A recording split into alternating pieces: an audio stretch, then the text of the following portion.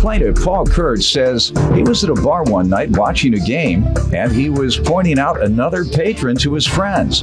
However, the defendant thought Paul was pointing at him and as a result, walked up to Paul and assaulted him. So he's suing.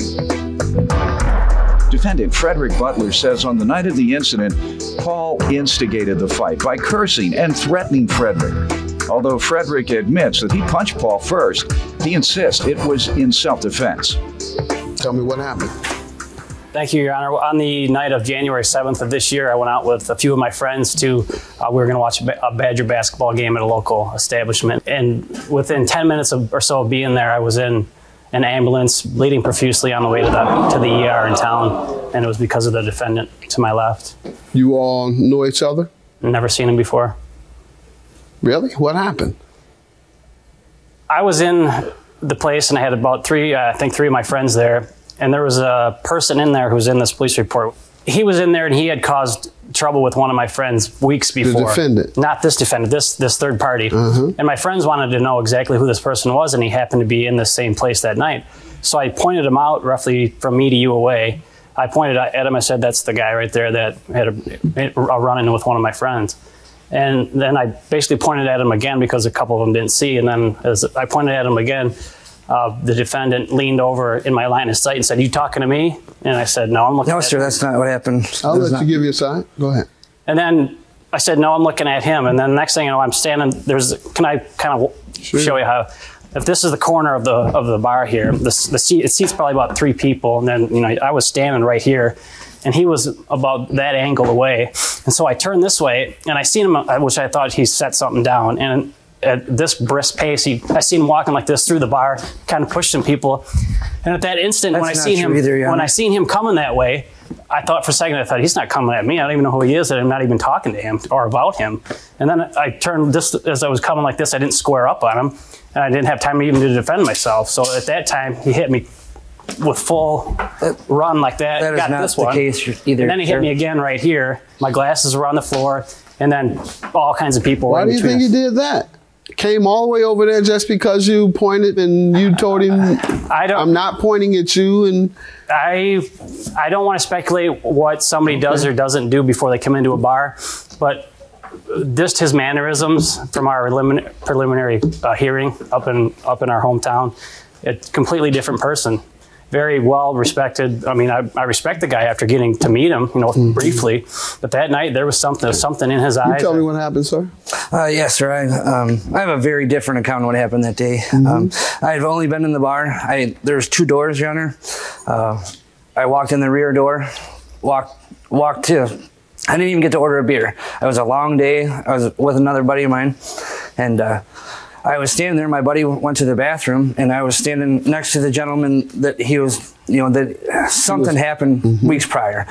And um, Mr. Kurtz. How far away were you all from him? He was right. It, it, you know, about from me to you away. You know. Go ahead. And um, what Mr. Kurtz left out is uh, when he was pointing, he was very, very agitated. He, he mm-hmm. was, you know, like it's, it's one of his friends had, I guess, gotten in a fight previous. Mm-hmm. So he was upset and pointing and swearing and. Um, and I, I, was caught off guard. There's three Your people Honor, there. There's no way Let to hear me. Finish. There's there's three people sitting at this table. I've never mm-hmm. I've never met any of them, sir. And uh, I, I asked him, you know, what's the problem? From I, the distance. yeah, I, you know, I, I, was like, you know, what's the problem? You yelled met, from yes, the distance. Uh-huh. I, said, what's the problem? You know, obviously there's a misunderstanding uh-huh. because I've never met him. What did he say?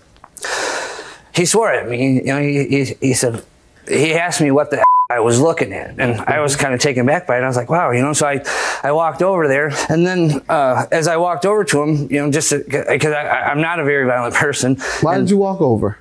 I, I, wanted to get the misunderstanding. Obviously, he was mad about something. I know. And, I, and I, I have understand no idea. That. Why did you walk over to him? I, I was going to discuss what you know what was going on, why, why he was mad at me because I've never met the gentleman before. Okay, but you just said you felt hostility. He had cursed you. Yes, sir, he did. So why do you walk over to a person that cursed you and engage a person who is hostile towards you? I, I, I don't have an answer for that. All right. Your So what happened when you So got there? as I walked over to him, Mr. Kurtz had a beer in his hand. And he put his put you know put his beer down, or whatever. And as I was walking over to him, um, he swore at me again, and then kind of pushed me. And, and yes, sir, I did. not hit him. true, Your I- Honor. I- I swore at you and pushed you. Yes, sir. And, and, and he- when he pushed me, or whatever, it was just a natural reaction. I was scared. There's three of them, one of me. I didn't know what to Mm-hmm. you were scared all alone. I, I was, yeah. My buddy was in the bathroom, so I was standing Yet there you by walked over to him, Terrified. Yes, sir. terrified. Right. Not exactly terrified.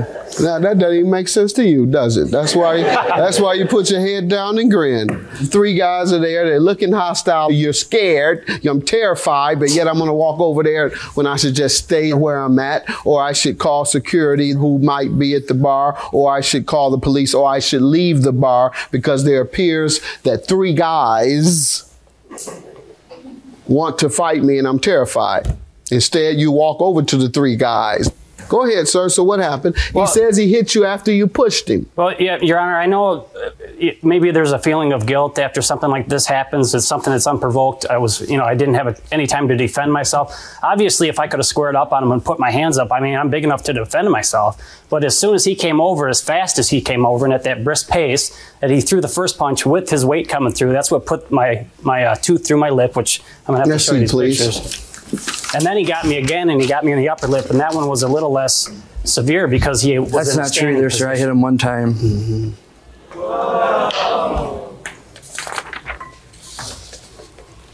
And the uh, police How's report. this five thousand dollars worth of damage, though?